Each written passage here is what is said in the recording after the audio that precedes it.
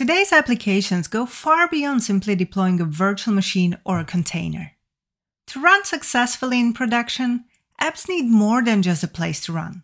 They need access to a broad set of services like load balancers, persistent storage, container registries, logging, monitoring, or service mesh solutions.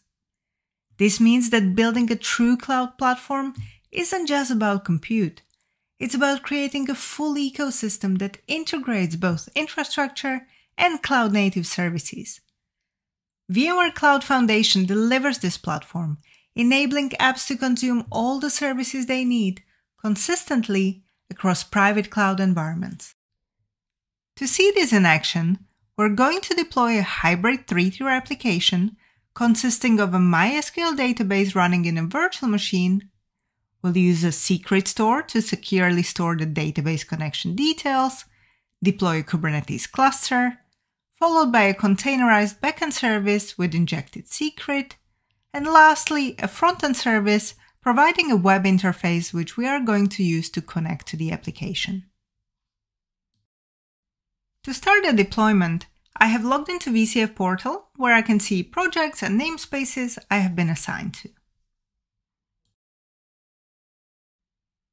I'm going to start with deployment of the MySQL database in a virtual machine. I'm going to give the virtual machine a name and select the availability zone. Next, I'm going to select the VM image I want to use as a base for my deployment, which is coming from a curated list provided by the infrastructure admins. To configure the virtual machine with required hardware resources, I'm going to select a t-shirt style sizing in a form of VM class. This list is again controlled by admins who can choose from 16 VM classes that are created out of the box or create their own ones to fit their infrastructure needs. I can create persistent volumes and load balancers on demand directly from this flow. I'm going to create a load balancer service to expose the database on required ports. In this example, ports 22 for SSH and ports 3306 for MySQL. These will be created by network service on demand. Now I come to configure my VM. I can pass guest customization to bootstrap the VM either through Cloud Init or sysprep if I would be deploying Windows. I can use guided inputs directly in the UI to create my config, or I can provide raw configuration in form of a cloud config file. This will fully configure my virtual machine during its first boot, create the user, install MySQL, and fully configure the database and create necessary tables.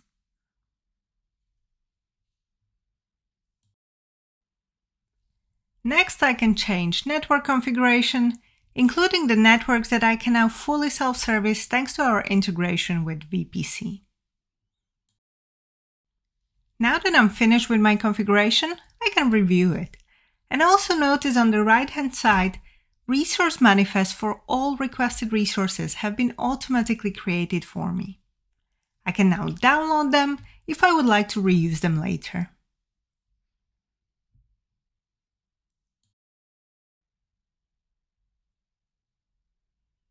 My database VM will now be deployed, powered on, and configured.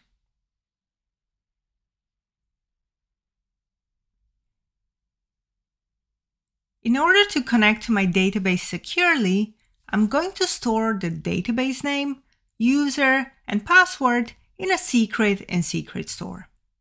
I can do this in the user interface or I can use our new VCF CLI to create and manage secrets.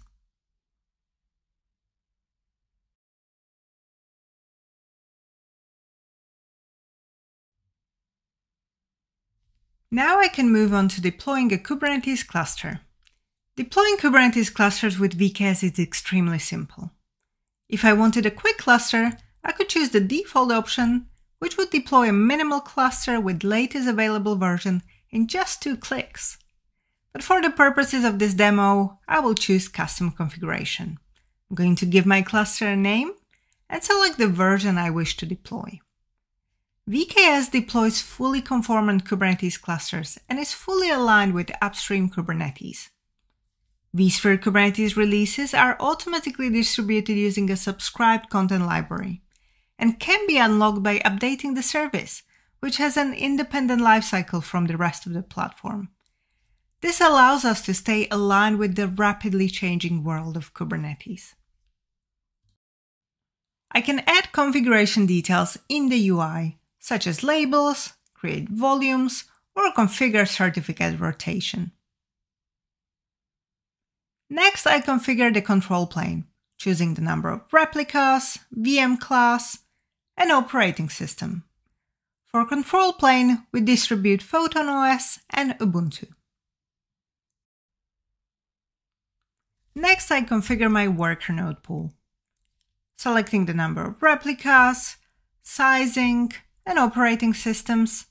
For workers, I can choose from Photon or Ubuntu, or I can create my own Windows-based images if I had any Windows container.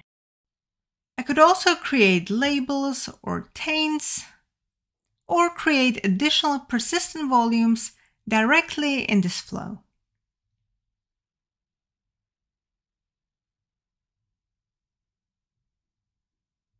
I could also go ahead and create additional node pools, for example with different sizing or operating systems.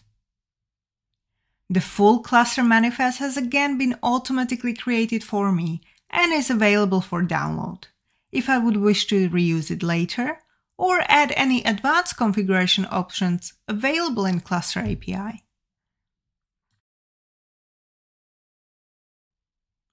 After a few minutes, my cluster will be deployed and configured. I can download kubeconfig directly from the UI or use our VCF CLI to create a context for the cluster, allowing me to switch between various working locations. Once I'm logged into the cluster, I can use standard kubectl commands. Now I can move on to deploying the backend API, which will serve the connection to the database. In the configuration, I'm injecting connection details from Secret Store.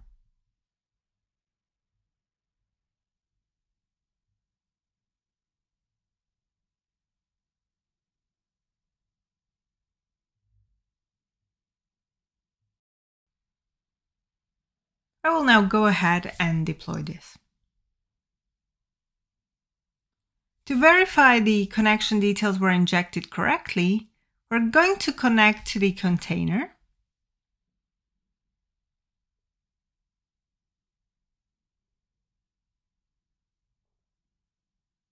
And look at the mount location.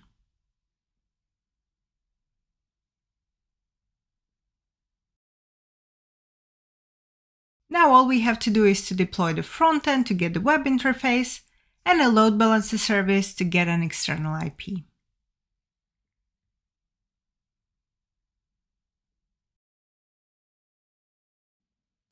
Once we have the external IP, we can use it to connect to the application. Here I can create a user that will be written into the database.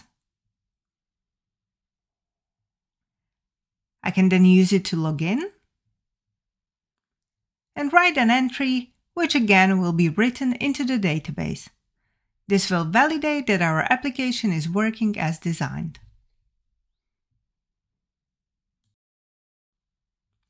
We've now used multiple cloud services to deploy components of the application in the user interface and CLI.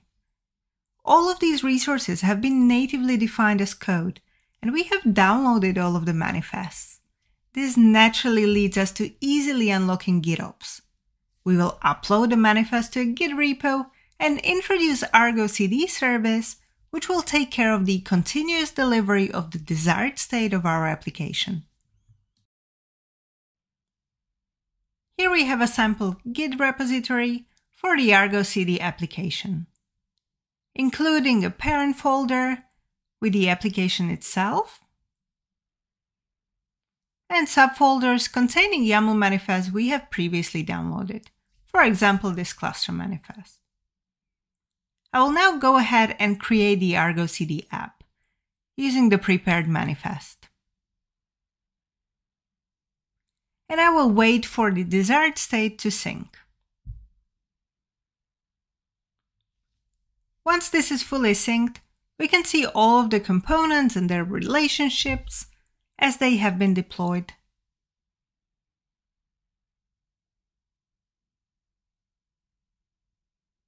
And I can also grab the external IP of the front-end load balancer service to verify we can access our application.